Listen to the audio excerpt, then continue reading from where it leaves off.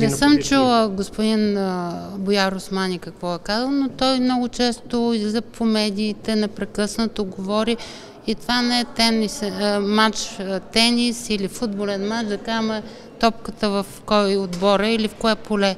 Нашата позиция е изключително ясна, имаме национален консенсус по темата. Не знам как- по какъв начин по-ясно да му обясня на господин Османи вече. Очаквате ли промяна на българската позиция на предстоящия съвет общи въпроси? Не, не. А, няма как нашата позиция да бъде променена на а, съвет общи въпроси, защото няма и такава тема който, на съвета, който предстои в понеделник. Има Еврокомисария по разширяването ще идва в България Да. тези дни.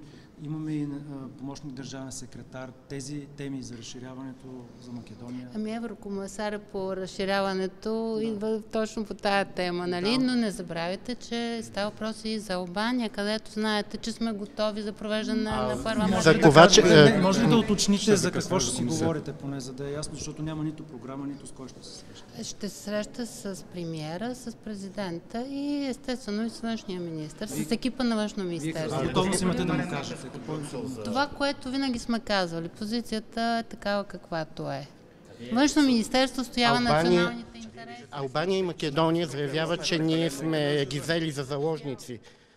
Вие какво мислите? Или те не си изпълняват... Не, а, не си изпълнява договора. Трябва конкретика и загубихме 5 месеца вече в говорене, в интервюта. Извинявам се на медиите, но това е. Просто чакаме да почнат изпълнение на договора. Благодаря ви.